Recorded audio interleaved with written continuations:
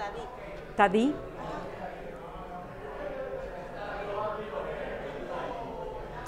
Hola, ¿qué tal? Muy buenas tardes amigos del Molino Informativo. Nos encontramos ya esta tarde en lo que es la inauguración de esta exposición aquí en Pace University Art Gallery. Esto es dentro del New York Latin American Art Triennial, creo que se pronuncia así, ¿verdad? La Trienal. Ajá, donde artistas de diferentes países de México, eh, Centro y Sudamérica han sido invitados. Sabemos que son 250 artistas divididos en cuatro grupos y bueno, nos encontramos en una de estas cuatro y esta tarde me encuentro con Mariela Martín, originaria de Argentina. Hola Mariela, bienvenida. Hola, ¿cómo, estás? Tati? Bien, muy bien, gracias. ¿Cómo, ¿eh?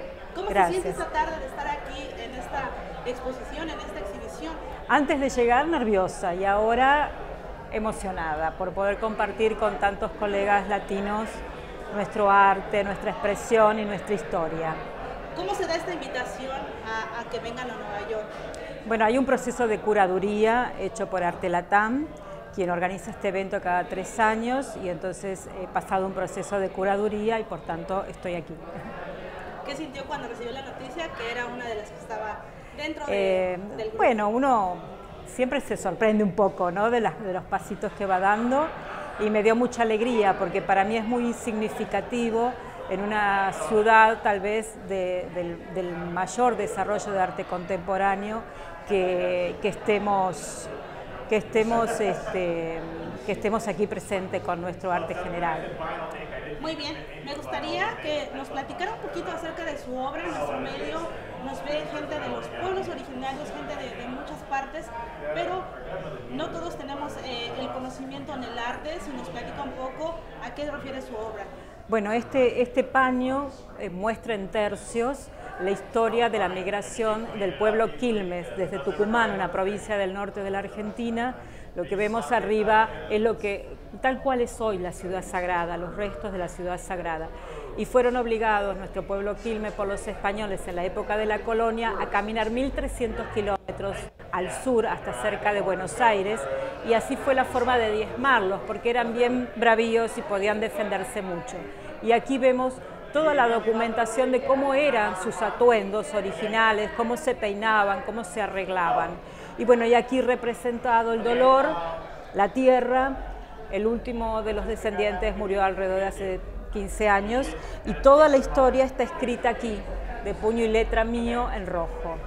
Así que esa fue la forma de diezmar a un pueblo originario en la época de la conquista. Una práctica que tal vez es común en Latinoamérica, pero para nosotros es muy significativa y hoy quienes pudieron huir de esa, de esa situación eh, están administrando junto con, con, el área de turismo eh, lo que es la ciudad sagrada con un circuito excelente, un lugar muy bonito de interpretación, está muy puesto en valor en este momento, pero estuvo abandonado mucho tiempo. ¿no? Qué interesante, ¿no? Conocer Sumamente interesante. La historia de, de, Argentina a través del arte.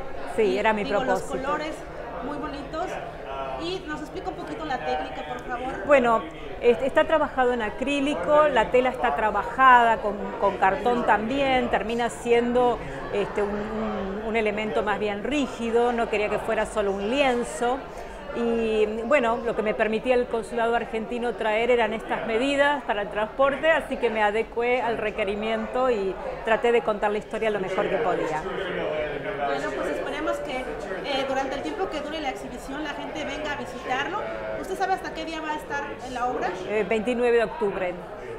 Pues, es decir, tienen prácticamente un, un mes. Un mes más o menos un mes. para que puedan visitar, así que ya saben, dense una vuelta por aquí por Pace uh, University uh, Art Gallery, aquí en el 41 Round en Nueva York, muy cerca de los trenes AC, muy cerca del el Memorial uh, Park. Así que vamos a seguir recorriendo. Agradecemos tu tiempo, Mariela, no, por la ustedes. Y deseamos el mejor de los éxitos. Muchas gracias. Gracias, muy amable. Muchas gracias. Gracias. Y robo mi micrófono de vuelta porque vamos a, a ver a, a seguir. A seguir. Muchas gracias. Bueno, vamos a seguir recorriendo por aquí las obras que esta tarde, eh, bueno, están representadas en, en esta galería y voy directamente a entrevistar a, a un chico talentoso de El Salvador. Por acá, si, si nos haces favor, Si nos ponemos ahí para que la gente pueda apreciar tu obra, por favor. Y te voy a poner el micrófono. Gracias. Bueno, antes que nada, muchas gracias. Eh, para el Molino Informativo, ¿puedes decirnos tu nombre, por favor? Eh, Mauricio Esquivel.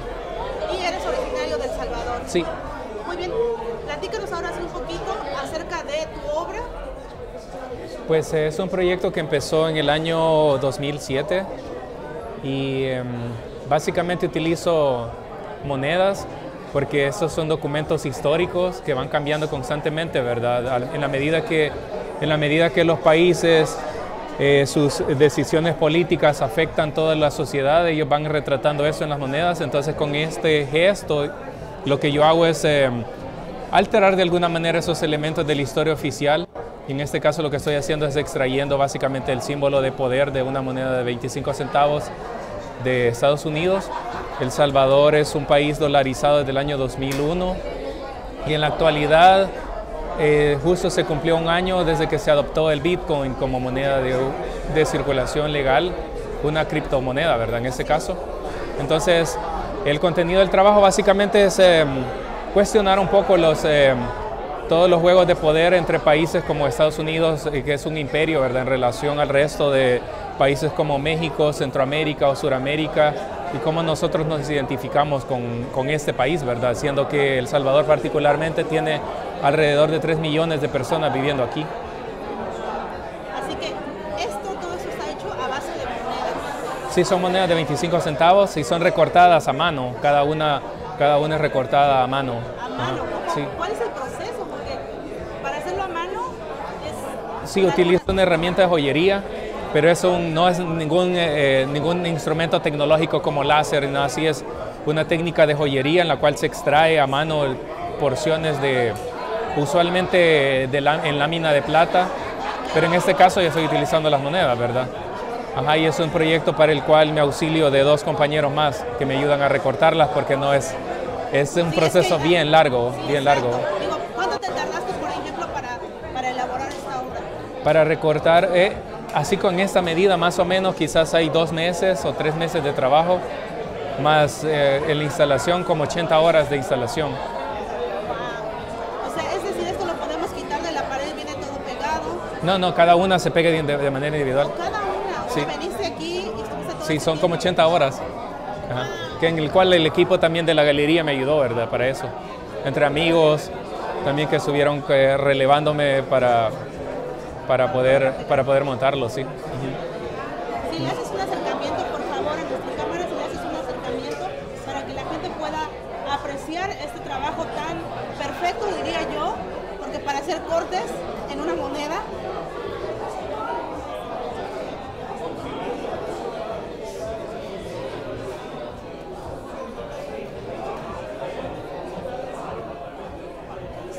Sí, también tiene que ver con, ah, con migración, ¿verdad?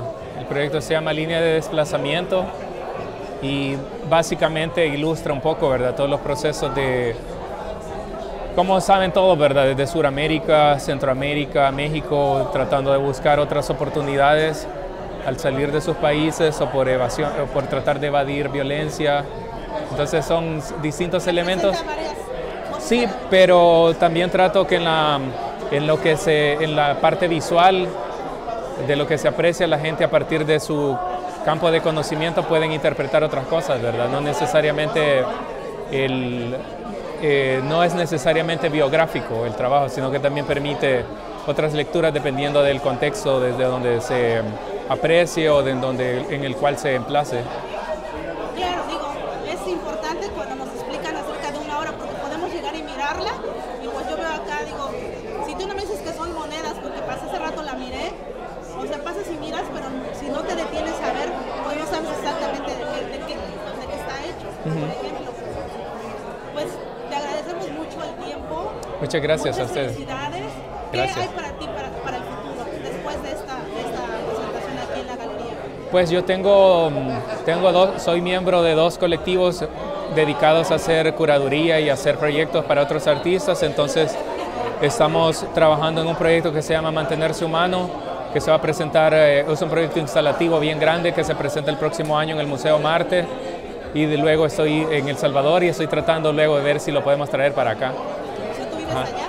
No, yo vivo aquí, Ah, pero, ajá, pero llevo haciendo esa curaduría por dos años y luego queremos ver si hay, en qué espacio se puede presentar aquí. Ah, muy bien. Sí, Pues muchísimas gracias. Gracias a usted. Gracias. Y esperemos volvernos a encontrar en la próxima. sí, muchas gracias, Gracias.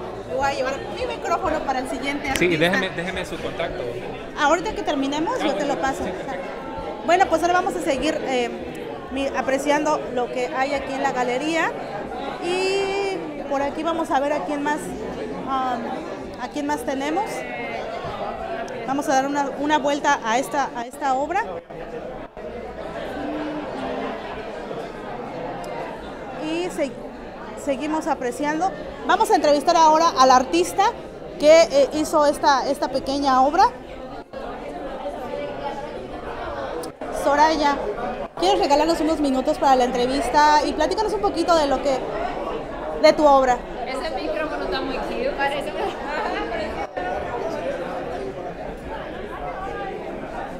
Bueno, pues aquí estamos apreciando muchos colores, estamos apreciando la tela. Bueno, ya estaba tocando estos de tela. A ver, Soraya. Me Ponte- pega. Póntelo tú o lo Me puedes agarrar pega nada más. casi. Si lo puedes agarrar nada más está bien, como tú quieras. Se cae. No, no se cae. Bueno, pues ahora estamos con Soraya, ella es de República Dominicana. Soraya, increíble los colores. Ahora platícanos, por favor, qué representa esta obra. Bueno, esta obra está inspirada en la naturaleza, pero la forma en que está hecha, la técnica, viene de la República Dominicana.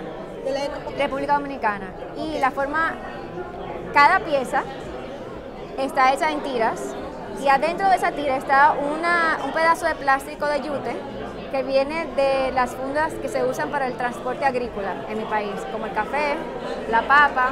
Y entonces a este material se le amarran trocitos de telas. Esa es la técnica. Allá en República Dominicana, yo cuando la vi la por primera vez, la vendían en la calle y la, tira, la vendían encima de los árboles. Así que para mí ya se parecía una instalación. Y en, ese, en esa técnica hay una forma de expandir mi trabajo, porque yo normalmente puedo decir que soy más pintora y quería siempre llevar ese- esa parte de las dos dimensiones a tridimensionalidad. Y eso me permitió eh, llevar este lenguaje, como expandirlo. Entonces, esta pieza le cobra forma al espacio. Incluso aquí hay dos columnas y obviamente es como que se está comiendo la galería y hace referencia al mar, a la naturaleza y al crecimiento incontrolable. Y entonces, eh, básicamente, a pesar de que lo he hecho en diferentes formas, son como, vamos a decir que cada pedazo es como un actor y toma roles diferentes. Y en esta ocasión, como a la galería, esos realmente son el soporte, era como que la elección fue invadir el, el espacio de por aquí. Es el sostén del edificio por aquí. ¿Qué tiempo te tomó al elaborar esto? Bueno, las piezas en sí tengo años, porque he ido, vamos a decir que la colecciono y la voy, y la voy montando en diferentes espacios. Pero el montaje, como lo vemos acá, porque igual esto está pintado, estos son trenzas, o sea, hay muchas, como muchas técnicas implementadas, pero la estructura en sí nos tomó casi más de como tres días. Porque abajo de eso obviamente hay una estructura metálica Claro. y la hice como se hace una escultura. Así que tiene como que esa, tiene como que varias conversaciones en materia de técnica para que logre esta forma. Hermoso trabajo, Gracias. muchas felicidades. Gracias. Eh, ¿Qué hay para Soraya en el futuro después de esta obra? Seguir haciendo más. Seguir haciendo Claro. más. Pues quiere, muchísimas gracias por el molino informativo. Esperemos encontrarnos en algún otro momento, en otro espacio. Y la obra estará aquí también igual que todos, ¿verdad? Sí, Hasta el un mes. 29 de octubre. Dura un mes en el espacio. Ok, bueno, pues la gente que no pudo estar hoy, saben, hasta el 29 de octubre pueden visitar, vuelvo a repetir, la dirección es 41 eh, de Park Round, aquí en Nueva York, muy cerquita de los trenes AC, muy cerca del Memorial Park. Así que si quieren visitar, aquí va a estar hasta el día 29 de octubre. Algunos artistas, yo creo que hoy nada más hay algunos, no están todos, pero aquí están las obras. Dense una vuelta, es gratis. gracias. Gracias a usted.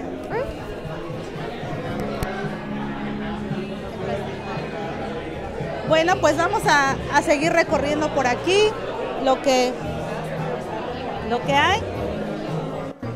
Y quiero terminar, por supuesto, con, con José. Quiero terminar con José para, para ya cerrar la transmisión. Pues claro que México no podía faltar. México no podía faltar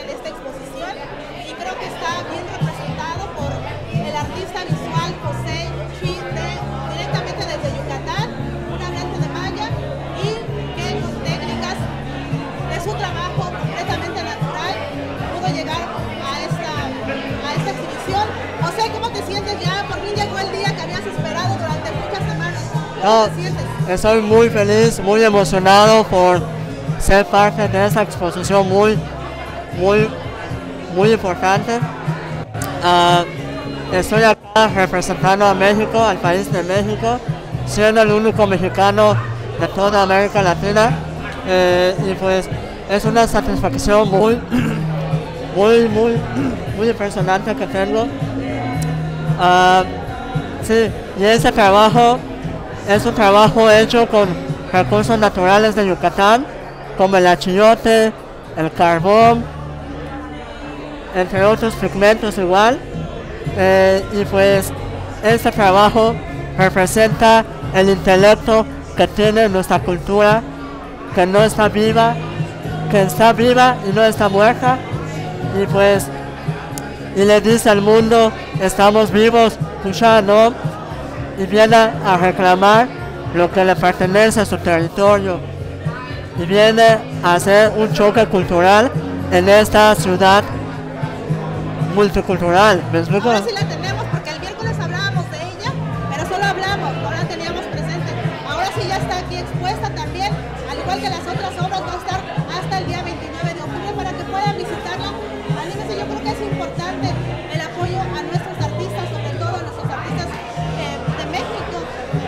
Hacen un esfuerzo enorme por poder estar aquí. No siempre es fácil, el arte no se vive, pero bueno, José lo logró y llegó a esta ciudad para presentar su obra.